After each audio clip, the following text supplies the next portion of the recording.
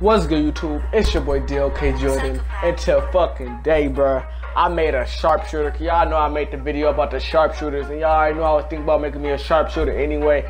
And I didn't have enough VC to upgrade them, so I started getting badges. And now, do you fucking know? I got all my fucking Hall of Fame badges at fucking 55 overall. I swear to God, this is not Photoshop or nothing. This is straight 55 overall. Y'all can see my gamer tag on top. This is a straight 55 overall sharpshooter with all Hall of Fame badges. And I don't know how to get the grand badge. I think you gotta upgrade. I, I think I gotta upgrade my player to like an 86 overall, and I think the grand badge is gonna pop up.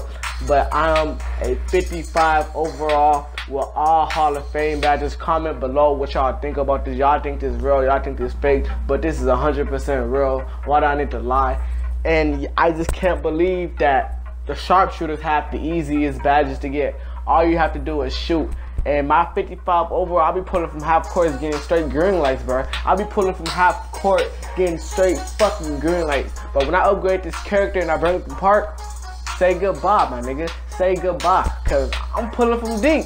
I'm pulling from deep and I'm getting straight greens, bro. I'm pulling from deep every fucking time. I'm gonna be an elite sharpshooter. I'm already an elite sharpshooter in my career. When I get my grand badge, bro, when I get my grand badge, bro, it's over. It's a done deal.